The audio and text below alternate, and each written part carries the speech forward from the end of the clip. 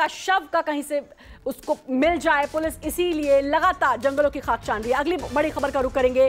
और अब दिल्ली पुलिस का शिकंजा कसेगा, सीरियल किलर एंगल से भी इस पूरे मामले की जाँच होगी। पुलिस को यह भी शक है कि कहीं इससे पहले भी तो इसने कुछ और हत्याएँ तो नहीं कर रखी। दूसरी लड़कियों से भी पुलिस पूछताछ करेगी। आपको बता दें कि श्रद्धा के मर्डर के बाद जो लड़कियाँ एक घर लेकर आया था उनसे भी अब पूछताछ करेगी पुलिस। तो पुलिस अब हर एंगल से जाँच कर रही है। शिकंजा और ज़्यादा कसने वाला है। और पुलिस अब यह भी देखेगी, कहीं ऐसा तो नहीं कि ये कोई सीरियल किलर हो। और इससे पहले भी इस तरह की वारदात को अंजाम दे चुका हो। क्योंकि रोज़ाना बड़े बड़े खुलासे इसके, इससे जुड़े हुए हो रहे हैं। गुरुग्राम में महिलाओं के साथ अच्छा व्यवहार नहीं था। वहाँ से इसको निकाला गया। इसके अलावा भी बहुत सारे खुलासे इससे जुड़े हुए हो रहे हैं। लगातार ये अपने स्टेटमेंट चेंज करता है। कभी कहता है कि मेहरौली के जंगल में इसने शव के टुकड़े फेंके। तो इस सबसे जुड़ा त्रिलोकपुरी, जहाँ जून में एक शव मिला था, जो कटा हुआ सर और एक कटा हुआ हाथ मिला था। उससे भी पुलिस जाँच कर रही है, उससे भी इसको जोड़ के देखने की कोशिश कर रही है। और लगातार पुलिस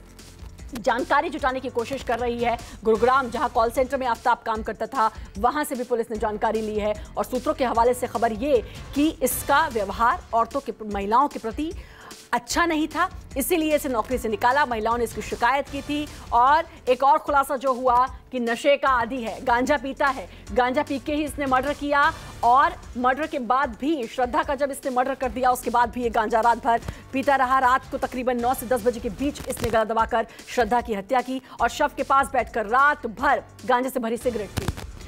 नमस्कार, मैं हूँ मानक गुप्ता। अगर आपको हमारा ये वीडियो पसंद आया हो तो इसे लाइक और शेयर ज़रूर करें। और हाँ हमें सब्सक्राइब और फॉलो करना ना भूलें। ताकि आप देश और दुनिया की कोई खबर मिस ना करें। तो जुड़े रहिए हमारे साथ और देखते रहिए न्यूज़ 24